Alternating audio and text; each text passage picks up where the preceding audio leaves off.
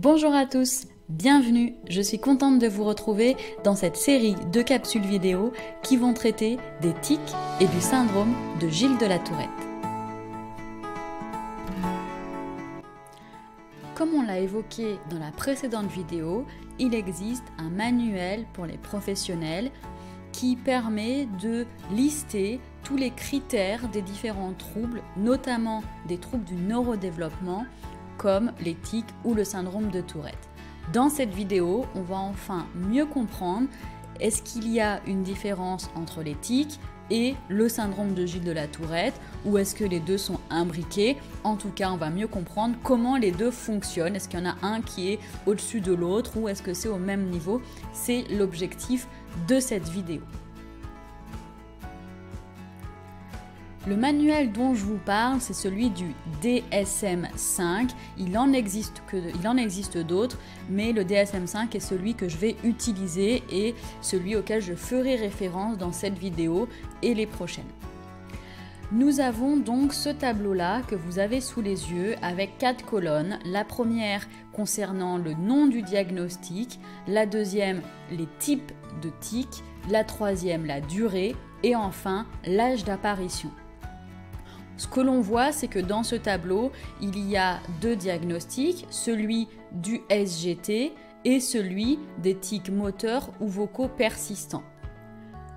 La suite du tableau est sur cette vidéo avec le troisième diagnostic qui est celui des tics provisoires et le quatrième diagnostic qui est celui des tics spécifiés. Donc dans cette euh, catégorie diagnostique des troubles moteurs, on a plusieurs diagnostics, celui du SGT, celui des tics moteurs ou vocaux persistants, celui des tics provisoires et les autres tics spécifiques.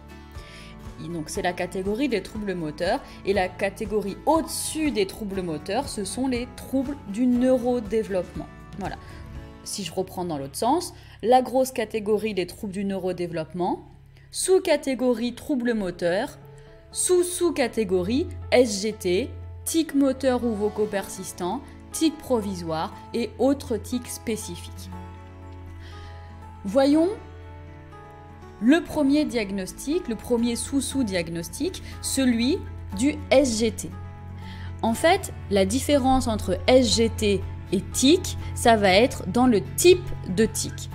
Le SGT se définit par des tics multiples moteur et au moins un tic sonore. Pas nécessairement simultanément. Donc, pour avoir un diagnostic de syndrome de Gilles de la Tourette, il faut avoir des tics moteurs et plusieurs tics moteurs différents, simples ou complexes, et aussi absolument au moins un tic sonore.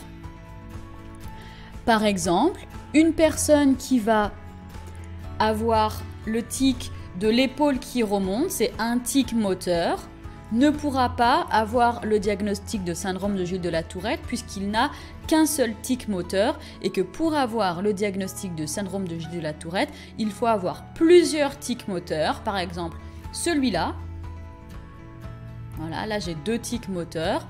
Et puis à un autre moment peut-être que la personne peut faire celui-là voilà, on a déjà deux tics moteurs différents.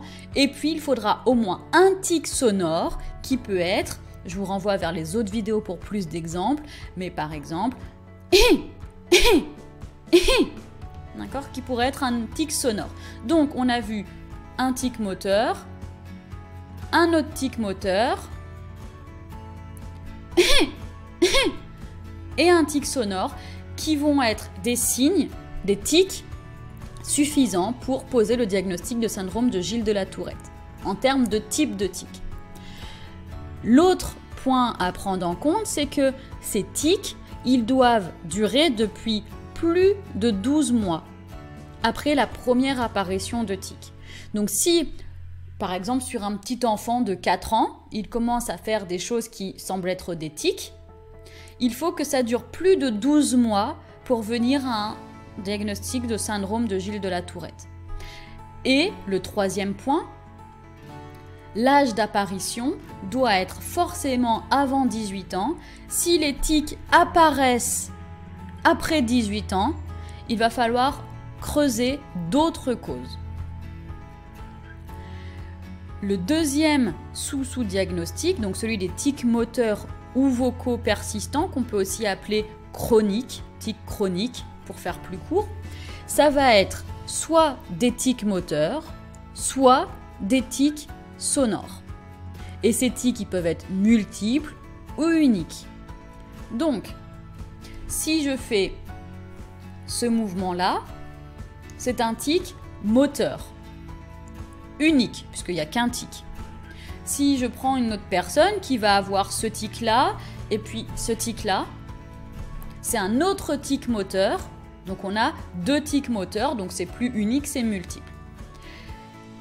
Là, on peut poser le diagnostic de tic chronique si, et on revient sur les questions de durée, si cela dure depuis plus de 12 mois et avant 18 ans. Donc, si j'ai un tic, un seul tic de faire ça, on peut considérer que c'est un tic chronique ou persistant, ce sont des synonymes si la durée des manifestations et l'âge d'apparition correspondent. S'il y a plusieurs tics moteurs ou gestuels, on peut aussi avoir ce diagnostic de tic chronique ou persistant. Et c'est pareil pour les tics sonores. Une personne qui va faire ça va être considéré comme un tic sonore, unique. S'il n'y en a qu'un, ça peut correspondre, en fonction de la durée de manifestation et l'âge d'apparition, à un tic vocal, persistant ou chronique. Vocal ou sonore, on préférera sonore la personne qui pourrait avoir plusieurs tics sonores, par exemple, et chat, chat. Voilà, là j'ai fait trois tics sonores différents. Ça va pouvoir être considéré comme des tics sonores persistants ou on peut dire aussi chroniques si la durée de manifestation et l'âge d'apparition correspondent.